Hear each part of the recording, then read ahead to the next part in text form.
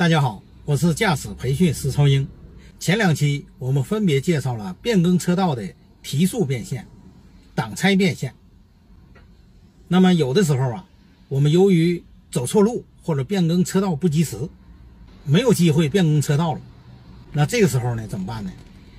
这一期我们就介绍一下求助变线的操作方法。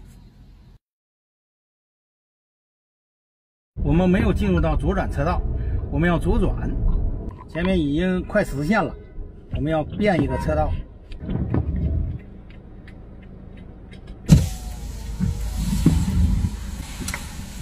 嗨，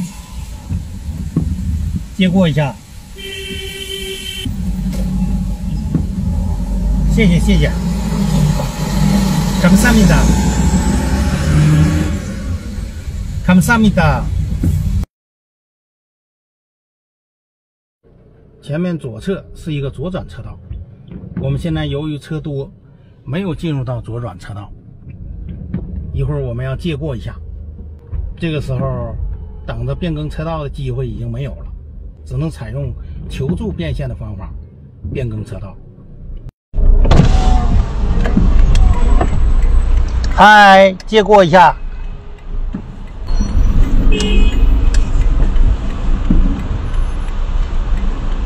谢谢，魔该魔该晒。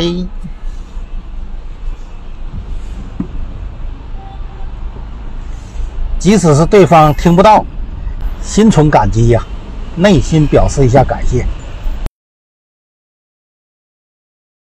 前面我们要右转，变更车道完了，但前面快要变成实线了，右面堆满了车，我们只能求助变线了。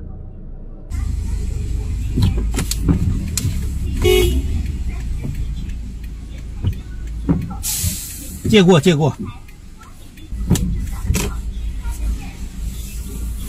Thank you very much。前面我们要右转，没有进入到右转车道。那么呢，这时候也需要求助变线了。嗨，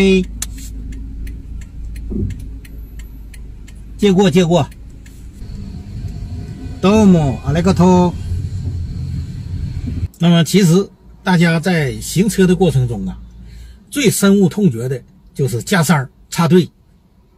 但是有的时候啊，真正就是走错车道就变更不了车道了。那这个时候啊，文明求助仍然是能够被大家所接受。多数人都还是能够让你一马，不会过分计较，但这是实在没有办法的下策。我们尽量还是提高驾驶技能，在确保安全的前提下，运行中进行变更车道。好，这一期我们介绍了变更车道的求助变线。这里是超英教开车，我是驾驶培训师超英。喜欢的朋友请加关注、点赞或参与评论。我们下期再见。拜拜。